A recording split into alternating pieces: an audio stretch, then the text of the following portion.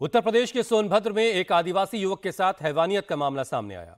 यहाँ के शक्तिनगर थाना इलाके में सात से आठ दबंगों ने एक आदिवासी लड़के के साथ मारपीट की, बर्बरता की सारी हदें पार कर दी। पीड़ित लड़के को लाठी डंडों से, लात घूसों से बुरी तरह से पीटा गया और उसके बाद उस पर यूरिनेट कर दिया गया और वीडियो भी बनाया गया और फिर उसे सोशल मीडिया पर डाल दिया गया, वायरल कर दिया गया। आदिवासी लड़के के साथ हैवानियत का ये वीडियो सामने आने के बाद प्रशासनिक महकमे में हड़कंप मच गया। सोनभद्र पुलिस ने तुरंत एक्शन लेते हुए एक आरोपी को पकड़ लिया। लेकिन मामले में अभी भी चार आरोपी पुलिस की गिरफ्त से दूर है। इस वीडियो को लेकर के काफ़ी हंगामा बरपा है। सोशल मीडिया पे काफ़ी बातें हो रही हैं और काफ़ी विभत्स तस्वीरें हैं, जिसमें एक लड़के को बुरी तरह से पहले पीटा गया है। वो लहूलुहान है और उसके बाद उस पर यूरिनेट कर दिया गया। उसे भद्दी भद्दी गालियाँ दी जा रही हैं। उसे मारा पीटा जा रहा है। और इन सारी हरकतों का ये दबंग, ये बदमाश वीडियो बना रहे हैं। और उस वीडियो को सोशल मीडिया पर डालकर उसे वायरल कर दिया गया। और जब इस बात की खबर प्रशासनिक अमले तक पहुँची तो हड़कंप मच गया और फ़ौरन फिर कार्रवाई करते हुए सोनभद्र पुलिस ने एक आरोपी को पकड़ लिया है। लेकिन अभी भी चार आरोपी ऐसे हैं जिनकी तलाश पुलिस कर रही है। युवक के साथ हैवानियत की सारी हदें पार करती इस तस्वीर को तो हम आपको पूरी तरह से नहीं दिखा सकते। लेकिन इस शख्स पर जुल्म के इम्तिहान करते इस दबंग के चेहरे को आप ज़रूर देखिए।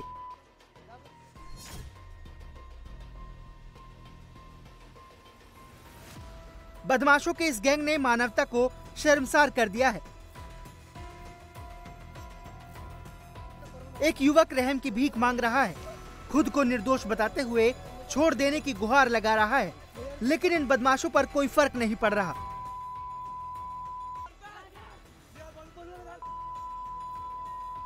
रील बनाने की सनक ने इस बदमाश को इस कदर हैवान बना दिया कि इसने पहले तो अपने साथियों के साथ मिलकर युवक की जमकर पिटाई की, उसे लहूलुहान कर दिया और फिर हैवानियत की सारी हदें पार करते हुए उसके शरीर पर पेशाब कर दिया।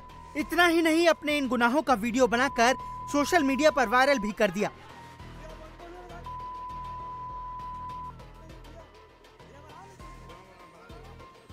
सोनभद्र के शक्तिनगर थाना क्षेत्र में हुई इंसानियत को शर्मसार कर देने वाली वारदात का वीडियो जैसे ही वायरल हुआ, यूपी की पुलिस सेक्शन में आ गई।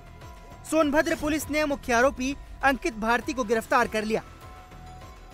एक ट्वीट पर वीडियो वायरल किया गया था, जिसके अंदर एक व्यक्ति के साथ में मारपीट और असौम्य करते करते हुए कुछ लोगों को देखा जा रहा है और उसका तत्काल संज्ञान लेते हुए लोकल पुलिस के द्वारा वादी से वार्ता की गई और घटना के बारे में जानकारी की गई। तो वादी के द्वारा बताया गया कि घटना 26 सितंबर की रात की है और उसी के मोहल्ले के पड़ोसियों के द्वारा यह घटना कारित की गई है। इसमें घटना का संज्ञान लेते हुए गंभीर धाराओं में मुकदमा दर्ज कर जो पाँच लोग हैं, उनको नामजदगी दी गई है और उसमें से एक व्यक्ति अंकित भारती पुत्र राम लल्लू, जिसके द्वारा ये घटना कारित करते हुए दिख रहा है, जो वीडियो के अंदर उसको गिरफ़्तार कर लिया गया है। और अन्य जो चार लोग हैं उनकी अरेस्टिंग हेतु क्षेत्राधिकारी पिपरी है, उनके नेतृत्व में दो टीमें लगाई गई है, जिनकी जल्द से जल्द अरेस्टिंग की जाएगी और आगे की वैधानिक कार्रवाई की जा रही है। छब्बीस सितंबर की इस वारदात में पुलिस ने पाँच आरोपियों पर नामजद एफआईआर किया है। वारदात के मुख्य आरोपी अंकित भारती को गिरफ़्तार कर लिया गया है और जाँच तेज कर दी गई है। बाकी बचे आरोपियों की तलाश में छापेमारी की जा रही है। पुलिस की दो टीमें एक्शन में हैं। एक आदिवासी युवक के साथ हैवानियत करने वाले जिन आरोपियों की पुलिस तलाश कर रही है, उनके खिलाफ पहले से कई मामले दर्ज हैं और इन पर गिरोह चलाने का भी आरोप है। इनके कई रील भी सामने आए हैं, जिसमें वो एक्शन दिखा रहा है। अब इनमें से एक आरोपी तो पकड़ा गया है और बाकी आरोपियों को पुलिस रील और रियल लाइफ के बीच का फ़र्क बताने के लिए सरगर्मी से तलाश रही है।